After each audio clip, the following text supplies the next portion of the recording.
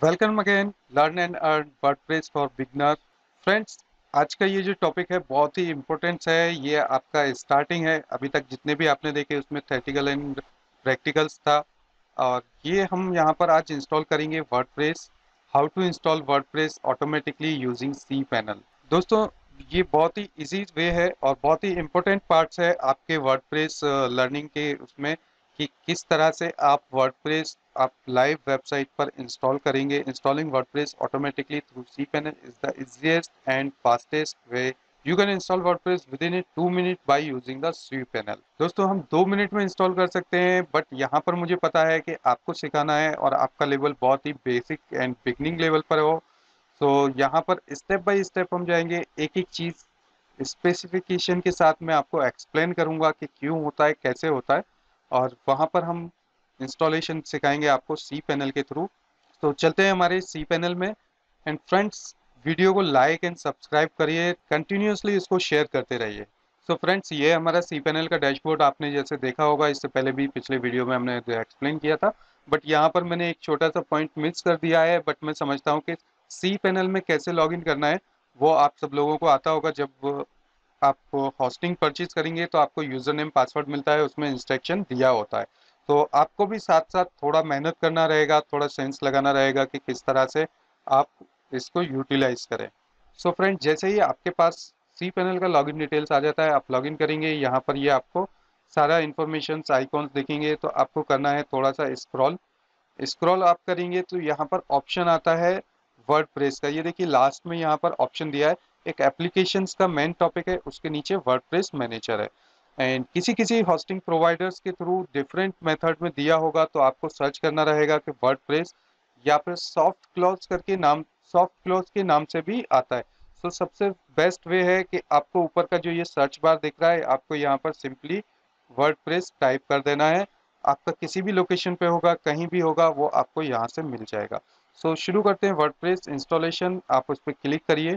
जैसे ही आप WordPress install करेंगे करने जाएँगे तो यहाँ पर आपको इस तरह से स्क्रीन दिखेगा।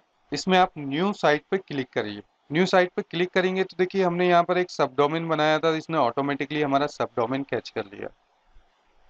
सो so, हमें यहाँ पर सब डोमेन पे नहीं क्लिक कर यूज़ करना है।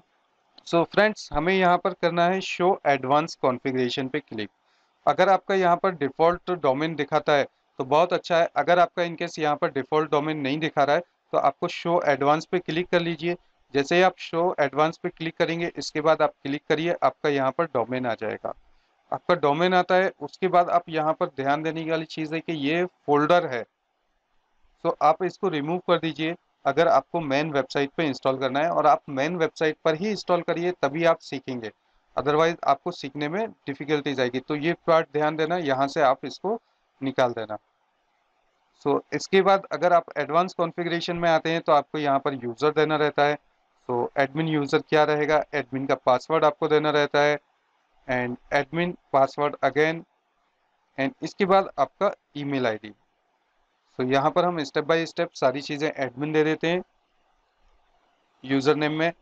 एंड मैं यहाँ पर रिकमेंड करूँगा कि आप एडमिन ना दें क्योंकि सिक्योरिटी पर्पज से एडमिन देना बहुत ही कॉमन यूज़र नेम किसी को भी आइडेंटिफाई होता है।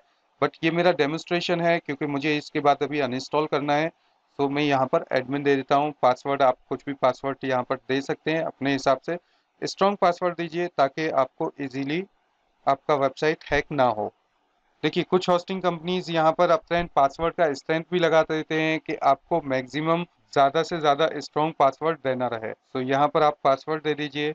उसके बाद आपको अपना ईमेल आईडी दे देना है, जो भी लॉगिन इन्फॉर्मेशन है या डैशबोर्ड के लिए आपको पासवर्ड रिकवर करना होता है तो वो इस ईमेल आईडी से आप वर्डप्रेस का पासवर्ड रिकवर करेंगे।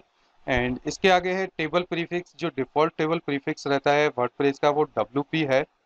सो so, आप यहाँ पर डब्ल्यू दे सकते हैं नहीं तो आप चेंज भी कर सकते हैं। सिक्योरिटी पर्पज़ से आप इसको चेंज कर लीजिए। सो so, यहाँ पर हमने ये दे दिया।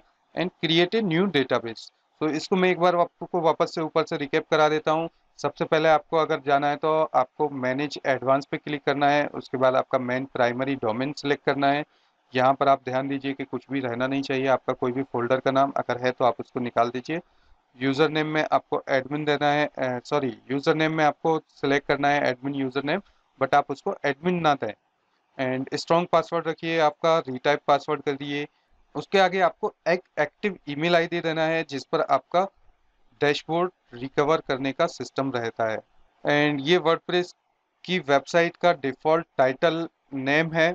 एंड ये डिस्क्रिप्शन है। इसको आप चेंज कर सकते हैं। आगे भी हम इसको बताएँगे किस तरह से चेंज करते हैं।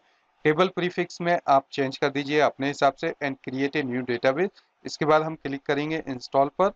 जैसे ही आप इंस्टॉल पर क्लिक करेंगे तो ऑटोमेटिकली आप यहाँ पर देखेंगे कि वर्डप्रेस आपका सक्सेसफुली इंस्टॉल हो गया। यहाँ पर आपका जो वर्डप्रेस का है वो डोमेन का यूआरएल है उसके नीचे मैंने जो हाइड किया हुआ है वो मेरा यूज़र नेम एंड पासवर्ड है। सो so, अभी हम क्लिक कर देते हैं go back to home so आपने यहाँ पर देखा कि किस तरह से आपका वर्डप्रेस इंस्टॉल हुआ। अभी हम चलते हैं वर्डप्रेस की वेबसाइट पर। सो so फ्रेंड्स आपने देखा कि ये हमारा वर्डप्रेस इंस्टॉल हो चुका है सक्सेसफुली ये आप डोमेन आपका टाइप कर लीजिए आपके ब्राउज़र के एड्रेस बार में। यहाँ पर जो है ये हमारा टाइटल आ गया। ये हमारा टैगलाइन आ गया और ये डिफ़ॉल्ट थीम वर्डप्रेस की ओर से इंस्टॉल हो गई। सो कॉन्ग्रेचुलेशन एक लाइक करिए वीडियो पर और शेयर कर दीजिए कि आपका वेबसाइट लाइव हो चुका है। अभी हम इसको आगे स्टेप बाय स्टेप मॉडिफिकेशन आपको सिखाएँगे। तो दोस्तों, बने रहिए हमारे वीडियो के साथ।